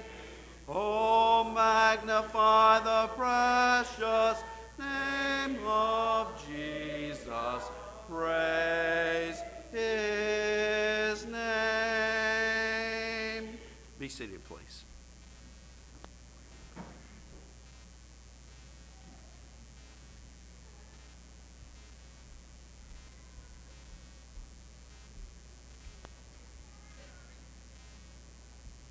Good morning. It's great to see everyone this beautiful Lord's Day morning. Thank you for being part of our worship time together. We hope you're making your plans to return to us at 1:30 this afternoon for another uh, worship time together, and then again on Wednesday night at 7 p.m. for our midweek Bible study. As always, we have visitors among us, and we're thankful for you. We invite you back and hope that you'll stick around, let us get to know you, meet you, and, and, and, and know that you're always welcome here.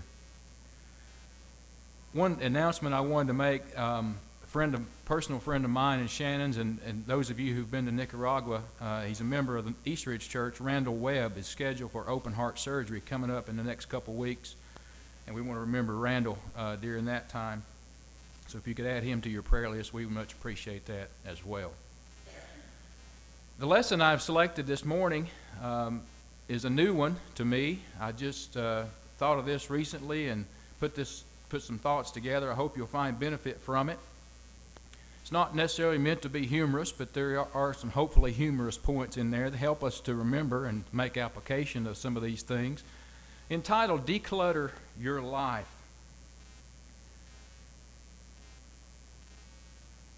If you have a, a portion on your bulletin there, if you'd like to take some notes, that'd be wonderful. If you uh, find something particularly interesting that you'd like to follow up on, if you have any questions concerning this lesson from me, be happy to discuss those as well. In this country, we have a clutter problem. I don't know how well that shows up on the screen, but that's a, a picture of someone's inside of someone's garage. I think you can we can all somehow relate to that. We have a clutter problem in this country. Some st- interesting statistics that bear this out. Almost 10% of American households rent at least one storage unit. Two thirds of those who pay for storage live in a house with a garage. 52% of sto- storage customers rent for more than one year. There are more than 50,000 self storage facilities in the United States, more than McDonald's and Starbucks combined. The average storage, storage unit rents for about $100 a month. 38 billion, we're told, is spent annually in this country on storage. The median single family home is 2,355 square feet. Incidentally, in 1950, that number was 983 square feet. 1970, it had grown to 1,500 square feet. 80% of the items that people store are never used. Retail sales of home organization products, you know, all the containers and all those kind of things, reached nearly $20 billion. That's billion with a B last year. 54% of Americans are overwhelmed by the amount of clutter they have, but 78% say they know, have no idea what to do about it. Americans collectively spent 2.7 billion every year replacing items they can't find. Some of this gets close to home. Not only does it stress us out physically and financially, people who sleep in cluttered rooms are more likely to have sleeping problems. When in cluttered spaces, people are more likely to make poor eating choices. Those with extremely cluttered homes are 77% more likely to be overweight. If you're like me and most Americans, you have a clutter problem. This cartoon here gets kind of personal to me. I don't know if you can see it or not. It's a man, an older man, and a younger man standing in front of a packed garage. It says, One day, son, all this will be yours. I think we can all relate to that. My wonderful wife recently read a book entitled Decluttering at the Speed of Life by Dana K. White. It's one of hundreds of books, I'm sure, on this particular subject that deal with the matter of clutter. After her gentle urging, I read the book as well. It was the inspiration for this letter or this lesson.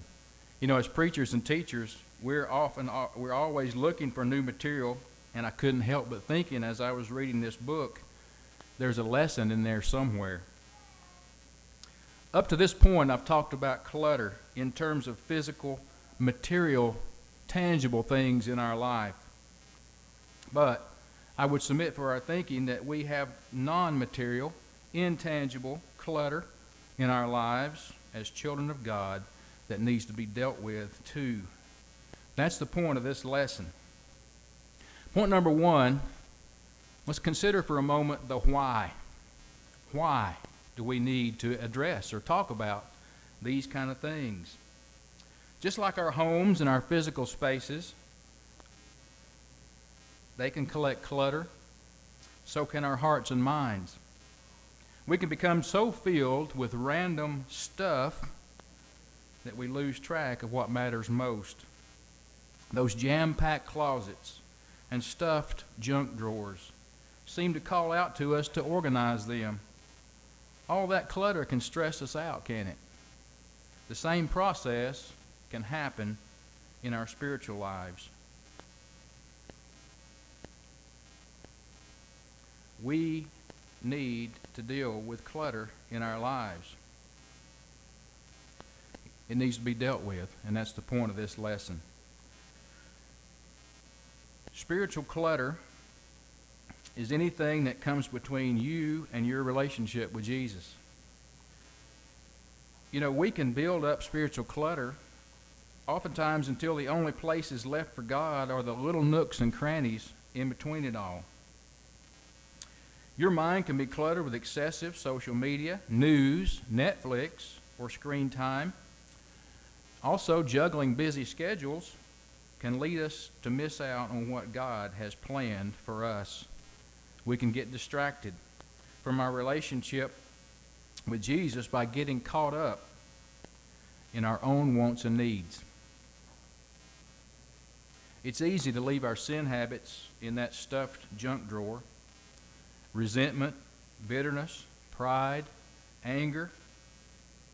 We all have behaviors that come between us and God.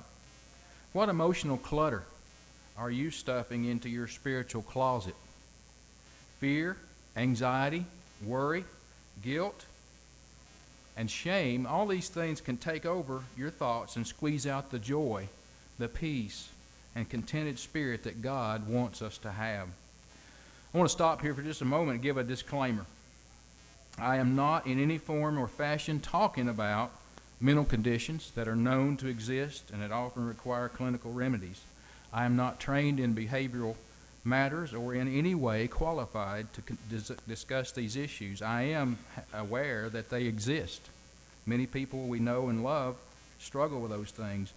I would encourage anyone suffering from mental illness to seek proper care. I'm going to give a plug here, real quickly, for the Greater Chattanooga Christian Counseling or Christian Center. A friend of ours, Steve Grubb, just recently took over the helm of that organization. We support here from our treasury, uh, send them monthly um, contribution for their services. Very good Christian counseling services for those of you who are familiar with that or may need that in the future. Please reach out to them, and I know you'll be able to get some help there. I am talking, though, about clutter that may be keeping you from seeing and experiencing God's power to work in your life. Point number two letting go of everything that we do not need baggage, guilt, bad decisions, regret, worry, fear. It's true that our past is part of who we are, but it doesn't have to be our future. I heard a preacher say a number of years ago something that stuck with me. He said, Your past can be your monster or your mission. Your monster or your mission. We are in control of how we deal with that. God expects us to learn from our past and, and use those lessons to help others. I can't help but not think about the Apostle Paul back when he was Saul of Tarsus. The Bible records some of the evil things that he did, engaged in, persecuting the church, persecuting Christians, consenting to their death. We see him there first in Acts, early chapters of Acts, when he was holding the coats of those who were stoning Stephen. You know, I, I would be willing to venture to say that there was not a day in Paul's life after that, after he became a Christian, he learned the truth, that he didn't think about those things.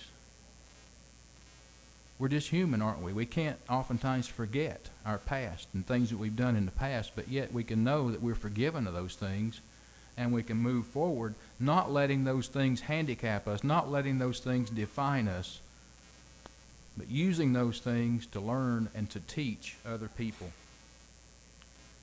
If fear, hatred, anger, anxiety, unbelief, rejection, etc., are all things that fill your life, where is there room for God and His promises for your future? John chapter 10 and verse 10, Jesus is talking about their contrast between himself and the devil. And he talks about how the devil wants to destroy, he wants to tear down, he wants to uh, do all the things that are against us. But in contrast, Jesus says, John 10 10 says, I came so that you may have life and that you may have it more abundantly. He's not talking about physical blessings necessarily. He's talking about quality of life, life that we can enjoy, life that we can be successful in living and working and serving Him. That's the offer He makes to us that abundant life that we can all, as Christians, have. You know, God is about newness, starting fresh in His mercy and grace. I appreciate Brian singing those songs this morning about grace. We didn't have that planned, incidentally, but it worked out well. You can't reach for anything new if your hands are still full of yesterday's junk. You have to let it go. I'm reminded of what the Hebrew writer would say in Hebrews chapter 12, verse 1 Set aside every weight and sin that so easily ensnares or besets us. Those things that would seek to, to get us off course, those things that would keep our eye off the goal of serving God. Let those things go. Let's get to the practical part of our lesson. Let's talk for a moment about the how. We talked about the why. Let's talk about the how. Some practical steps for decluttering your spiritual life. Study God's Word and pray is number one. Include God in the process. You know, I think this would solve a lot of our problems, wouldn't it?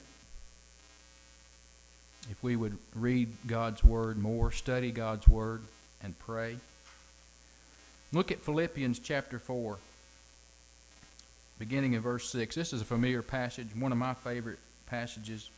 You know, the, the Philippian letter from inspired from Paul is what we oftentimes call the love letter to the church.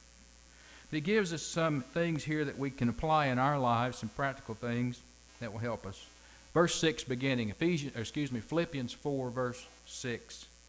He says, Be anxious for nothing, but in everything by prayer and supplication with thanksgiving let your requests be made known to God and the peace of God, which surpasses all understanding, will guard your hearts and minds through Jesus Christ. We've talked about this before. That word guard there is a military term. Think about those in the military who have guard duty, standing guard while others sleep. They're watching. Same idea there. Verse number 8. Finally, brethren, whatever things are true, whatever things are noble, whatever things are just, whatever things are lovely, things that are of good report, if there be any virtue, if there be anything praiseworthy, meditate or think on these things. Verse 9 The things which you learned and received and heard and saw in me, these do, and the God of peace will be with you. That's Philippians 4, verses 6 through 9. So we the point number one under the how is to study God's word and pray. Point number two, Get rid of the trash. This is step one in Dana White's book, by, by the way, that we talked about. And if we're being honest with ourselves, this is the most glaring and obvious place to start. That involves oftentimes getting or stopping the negative self talk. You ever negative self talk yourself?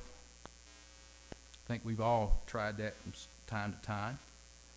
Stop comparing yourself with others you know, social media has given us this avenue or this venue where we can compare ourselves with everybody. You know something? Most of the time, we're going to come up short because people are not always truthful in those in those environments. So stop comparing yourself to others. Thirdly, under getting rid of the trash, stop holding a grudge or ill will against a brother or sister.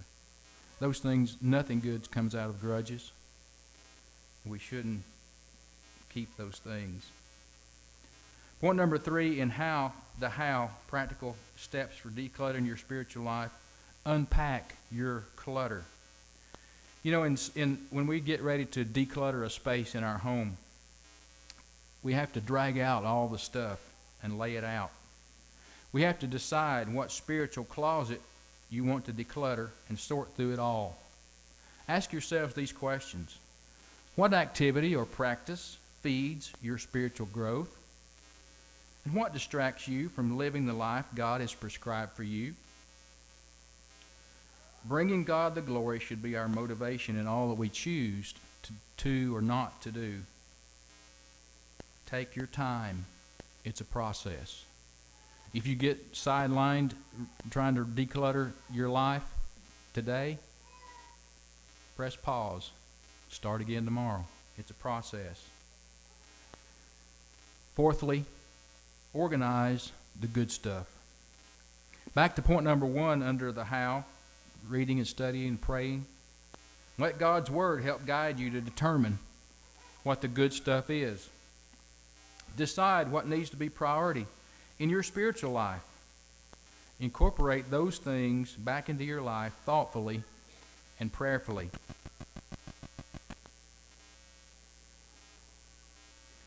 Don't know if you can tell by this picture or not. This is that garage that we looked at earlier in a cluttered state, in an organized state, or a decluttered state.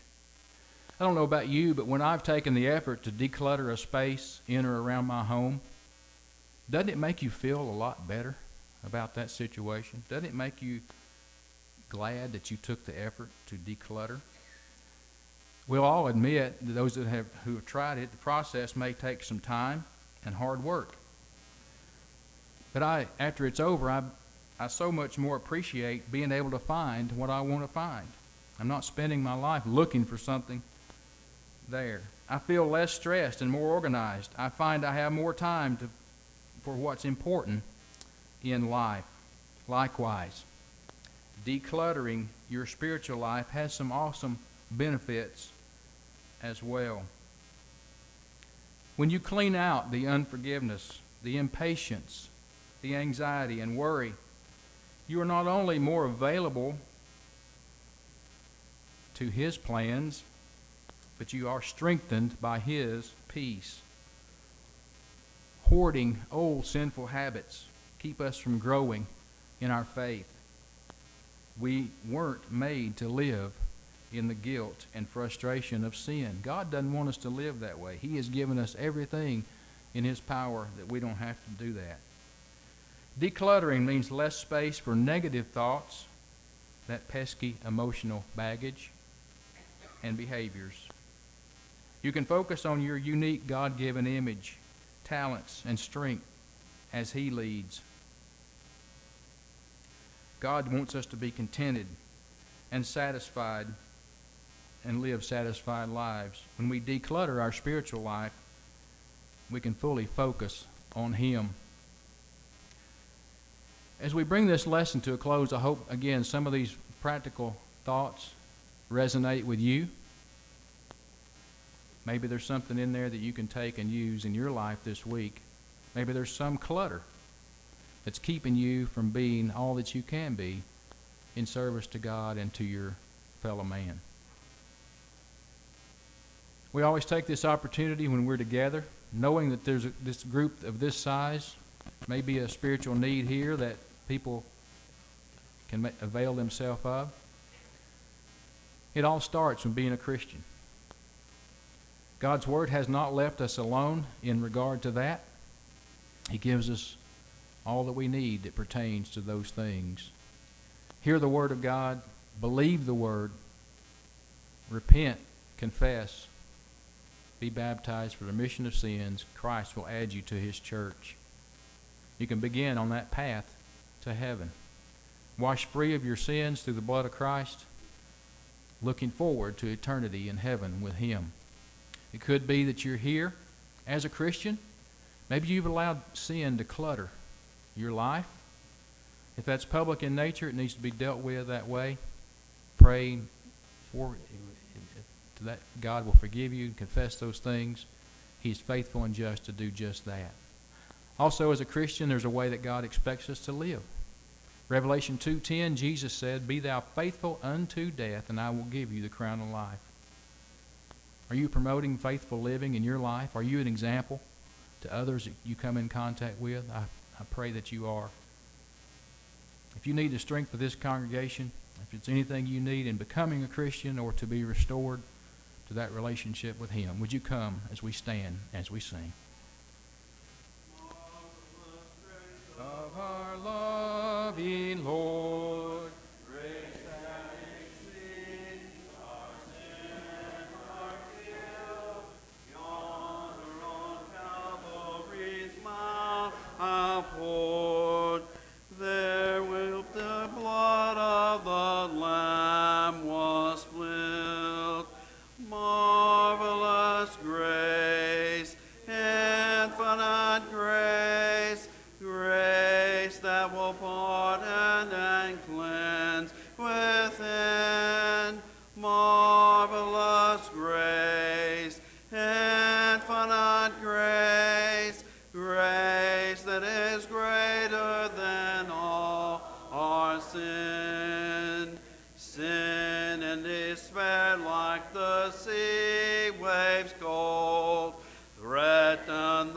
soul with infinite loss.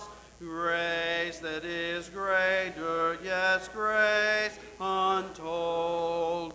Point to the refuge, the mighty cross.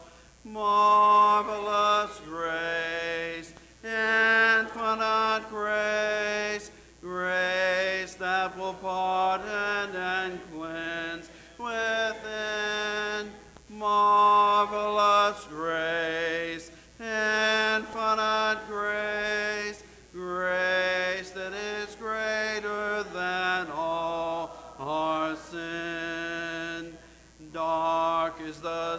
stain that we cannot hide.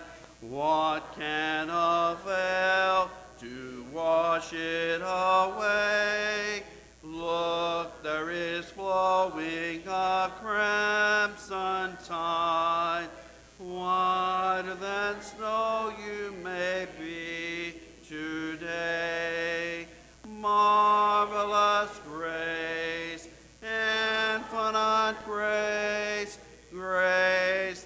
pardon and cleanse within.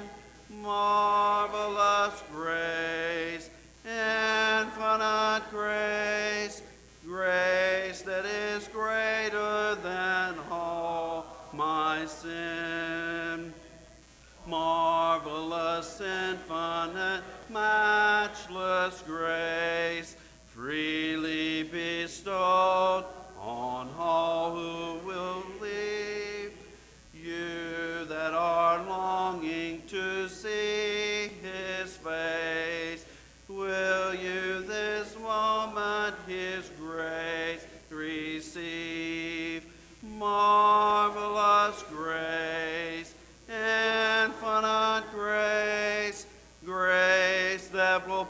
and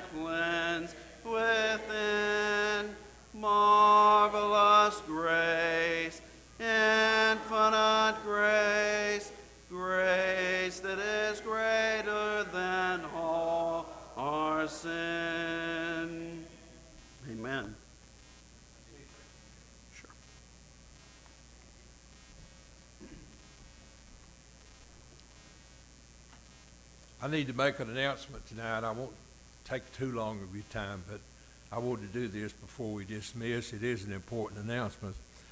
This morning, the elders of Soddy Church of Christ would like to take this opportunity to thank each member of this congregation for your support as we continue to be guided by God's Word. And we also ask you uh, to keep doing the work that you do. We're so thankful for this being a working congregation. Uh, this always helps everyone. It especially helps the deacons and elders' job, everybody doing their part. We continue to be thankful for the peace and the harmony and especially the love which are so present among the members of the Soddy Church. And we want you to know that it will always be our desire that God's will will be carried out in this congregation. Now, we are thankful that we're growing. We're thankful that a lot have come back since the COVID. And uh, because of this, we see a need for additional help in serving the members of this congregation.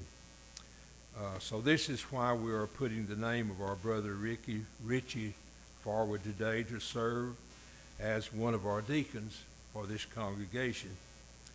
We are confident that Ricky is well qualified to serve as a deacon here, and we feel that he will be able to carry out the responsibilities of this office according to God's will. Ricky has a wonderful family. He loves this church. He's told me about this and how much he's glad to be back in Soddy. Uh, when his wife was teaching in Pikeville, they attended Bethel. But anyway, his heart is here, and we're thankful for that. Uh, now, if any member of the Soddy congregation knows of any reason why Ricky is not qualified according to the scriptures found in 1 Timothy, the third chapter, verses 8 through 12, we do ask you to please submit these reasons to the elders in writing by Wednesday, June the 15th, because it is our plan to appoint Ricky as a deacon on June the 19th at our morning service. And folks, we ask you to please pray for Ricky as he enters into this great work. It's a great opportunity to serve the Lord. We also ask you to continue to pray for your elders as we make decisions like this from time to time. Uh, this morning, I know I speak for the rest of the elders, but uh, I want to take this opportunity to personally thank the men who are now serving as elders. I really don't think we could do without them.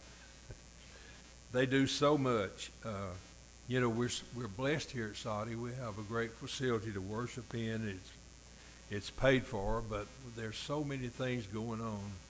Uh, the deacons help us with. You know, we have air conditioning, the banks to be mowed and took care of, the and the shrubbery to be taken care of. So they do so many things that we just take for granted, and they make our job a lot easier by serving like they do. So we are thankful for our deacons, and, and we need to let them know that regularly.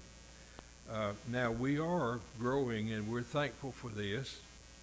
And uh, but by us growing, we know that there will be a need for more men to serve as elders and deacons in the future. So let me encourage all the young people that be make setting a goal that you want to serve the Lord in the best way that you can, and and this is the best way I know we can serve.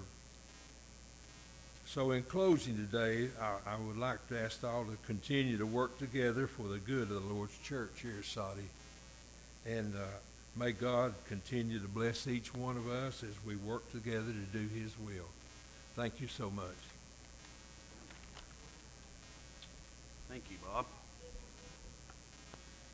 Number three, I'm sorry, number 500. Number 500 will be our closing prayer. I was going to say that um, Charlie went from preaching to meddling this morning. Um, you've seen my garage, haven't you, Charlie? I say I have a two car storage building at my house. So it is a work in progress. Number 500, and then our closing prayer. Oh, the fount of every blessing, to my heart to sing thy grace. Streams of mercy, never seeking, calls for songs of loudest praise. Teach me ever to adore thee. May I still thy goodness prove, while the hope of endless glory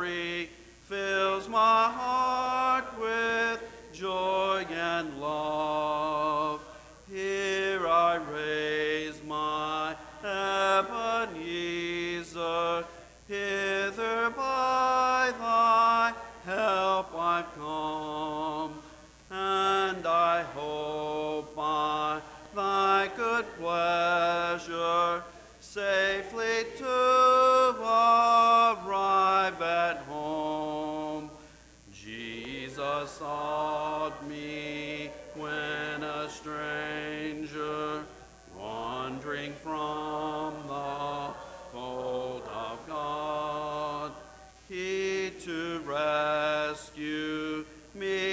From danger, interpose with precious blood.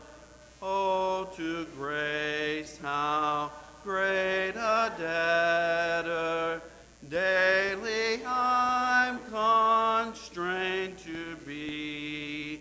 Let thy goodness, like a fetter, to thee. Never let me wander from thee. Never leave the God I love. Here's my heart, oh, take and seal it, seal it for thy courts above.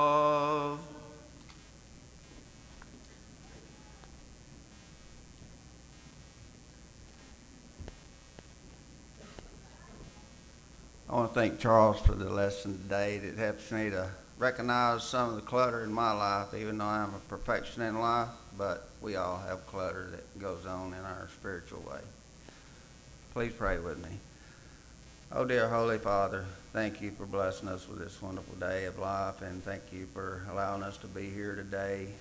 And we know that there's a reason for us being here today, or we wouldn't be here, Father. I just thank you for everything in life. Thank you for our health, and thank you for just our the love that we have for one and the other, the love for families, and and uh, just be able to go into the world and see the beauty of your creation and breathe the fresh air, Father, and help us to uh, try to separate the worldly things today that that causes us to uh, steer away with if we get caught up in in all these things that goes on, Father. And I pray for the ones that's mentioned today, and and I also pray, Father, for the ones that's not mentioned that that we don't know about that's uh, struggling out here in life, Father, that doesn't know you and uh, that uh, has that are struggling severely, Father, in this time of our our crisis that's going on, Father, in our world with our cost of things and just our everyday living, Father. And we know that there are people struggling, and and I just pray, Father, that you'll be with them and comfort them and strengthen them as uh, you do us, Father. I just pray that you'll be with us and continue to guide us, Father, and please forgive us for our sinful ways of life. In Jesus' holy name, amen.